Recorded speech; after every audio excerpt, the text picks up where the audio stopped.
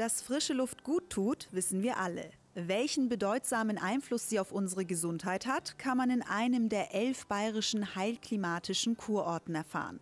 Die Gegend um Bad Tölz im Alpenvorland ist geradezu prädestiniert für eine Klimakur. Aber Luft ist nicht gleich Luft. Wenn ein Kurort die Klimatherapie als klassisches Heilverfahren anbieten möchte, braucht er ein Bioklima. Heißt, es werden hohe Anforderungen gestellt. Heilklima können Sie nur werden, wenn Sie nachweisen, dass Sie a. vom Klima, Bioklima her die entsprechenden Faktoren nachweisen können, wie zum Beispiel äh, gute Durchlüftung des Ortes, wenig Nebeltage, entsprechende Sonneneinstrahlung, die nicht zu intensiv ist und natürlich auch die anthropogenen Schadstoffe, also die von uns Menschen verursachten Schadstoffe wie Ruß, neuerer Zeit Feinstaub, äh, Stickstoffdioxide. Diese Sachen werden alle gemessen und zwar in regelmäßigen Abständen. Der Kreis der heilklimatischen Kurorte in Bayern ist also begrenzt. Gerade in Zeiten des Klimawandels und Umweltschutzes nehmen sie eine immer wichtigere Stellung im Verbund der Heilbäder und Kurorte in Bayern ein. Entscheidend bei der Klimakur ist die Stärke der sogenannten Reize im Klima. Diese werden von Kurärzten wie Dr. Ralf Munkert individuell für jeden Patienten gesetzt. Ein Arztbesuch vor Kurbeginn ist Pflicht. Man muss einfach sehen, was braucht der Patient.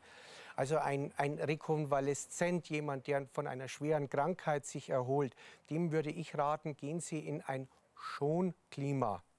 Jemand, der sich abhärten will, der seine Immunabwehr stärken will, dem rate ich, gehen Sie in ein Reizklima, wie zum Beispiel hier unser voralpines Reizklima. Da soll man sich dann in eben dieser definierten reinen Luft seinen Körper gewissen Kältereizen aussetzen. Also im Idealfall gehen Sie über fest markierte Wanderwege, die auch äh, vermessen wurden. Und beim Gehen sollten Sie dann nur so viel Kleidung tragen, dass Sie ein leichtes Kältegefühl haben. Damit auch nichts schief geht, stehen vor Ort staatlich geprüfte Heilklimatherapeuten wie Katrin Schöffmann zur Verfügung. Sie bietet zum Beispiel geführte Wandertouren auf den Hausberg der Tölzer, dem Blomberg, an. Vorbei an den etwas neugierigen Bewohnern des Berges werden bis zu 1200 Meter Höhe erreicht. Natürlich steht auch hier der Gesundheitsaspekt im Vordergrund. Die Devise, gezielte Reize setzen, aber nicht überreizen. Deshalb gehört neben der sportlichen Betätigung eine entsprechende Ruhephase zum festen Bestandteil einer Bergtour. Okay, wir messen alle unseren Puls. Wir haben das ja schon geübt. Entweder ihr messt den da, je nachdem, wo ihr ihn besser gefunden habt vorher, oder eben hier auf der Seite.